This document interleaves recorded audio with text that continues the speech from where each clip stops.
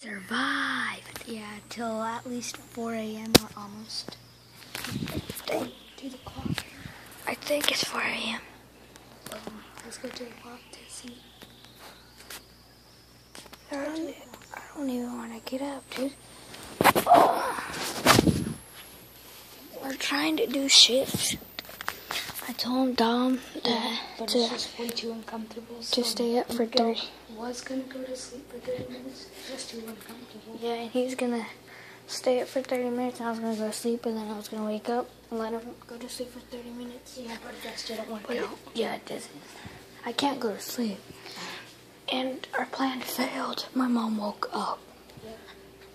So, But we're not gonna let that bother us. yes. Why do you think we're making another video? He keeps moving around. I know.